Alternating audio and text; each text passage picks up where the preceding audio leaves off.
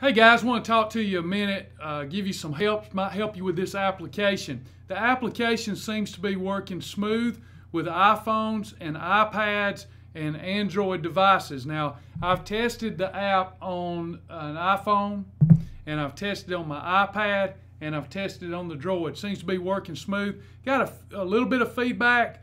Uh, some of you saying that the API key is not working for you.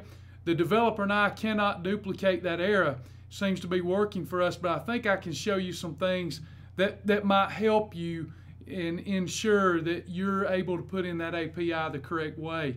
Uh, again, when you download the app, you get the motivational videos without being a member. But to unlock the features, you must be a member of Shibboleth. Therefore, you must use your API code. We didn't want to devalue you uh, or your membership by giving the entire program away for 99 cents. Uh, now, we will be coming out with new features next year. We're going to have to lock it down, batten down the hatches to the end of the year, having to really cut some costs, cut some expenses.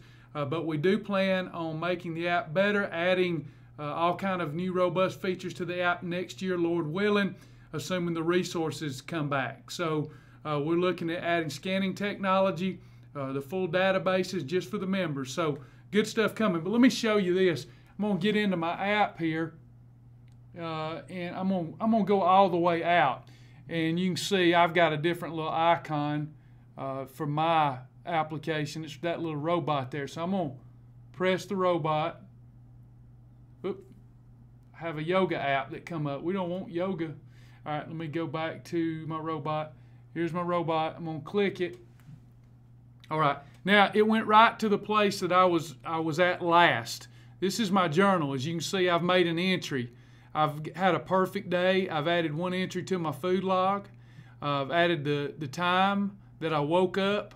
Uh, my motivation's at a 10.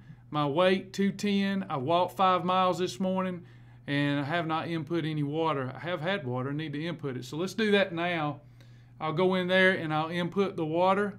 I've had a quart of water so far. I won't tell you how many Diet Cokes I've had. And then uh, I've got to make sure on each screen that I save it.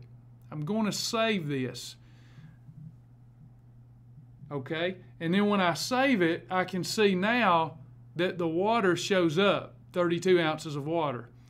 And then I've got my journal notes.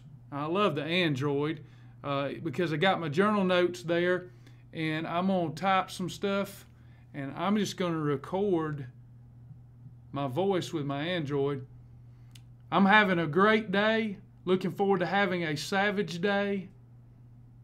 Got up early this morning, established my creed, established my daily method of operation, and I am going to nail it. All right, so now it is in there. Let it focus. It's in there, and I'm just going to save it. I've got to make sure that I save each page. Now it's back to that page. A lot of people have said it's not saving. So let me back out of that. I'm going to go to a blank page. There's a blank page. Now I'm going to forward back up. And you can see the data is still there. Seems to be saving fine. You've got to save it on each page. Now I'm going to click the upload button at the bottom. I want to sync this with my website journal. The app doesn't collect our points, the website journal does, and you're going to want those points, so you want to sync it to your website. The website, it, that's, that's where we need the data. So for those of you that prefer an app, trust me, you want to make sure that you're using the app and you're syncing your journal because next year that's when it's going to get exciting when we return to zero and you get to see all those points you've accumulated. So I'm going to click upload and it says um, your website journal has been successfully synced. You can't see that. Looking look like my camera is going to focus or the, the desktop camera is not focusing. But it says your website journal is now updated. I click OK. All right.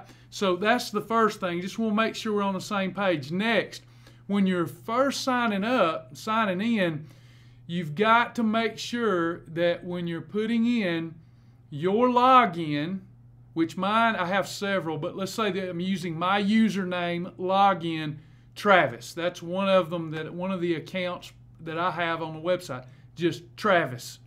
So I have to put that in, uh, and it is case sensitive.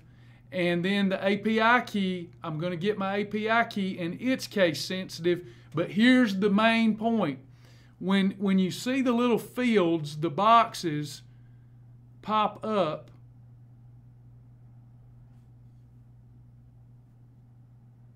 When you see the, the field pop up, this is my food log, but when you see the field pop up, I need you to backspace all the way to the front I've seen some phones where you can't tell it. You can't tell it, but the little cursor is over a space or two. And then if you put your API in right where the cursor's flashing, then it's your API key or your login is going to have two, one to two spaces in front of it, and that's what throws it off. And we're, we're trying to figure out why that happens on some phones and not on others. So backspace all the way to the, the far left of the field. You want to backspace all the way to the far the, the far left of the field to make sure there's no spaces between the where the first letter goes and the first letter of the API. So backspace all the way to the left of the field, then put your username, then put your API, and I think that will solve some of some some of your problems.